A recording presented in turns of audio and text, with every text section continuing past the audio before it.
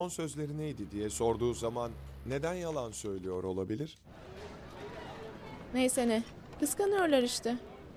Ne yani daha iyi mi hissetmeliyim? Ne bekliyordun ki?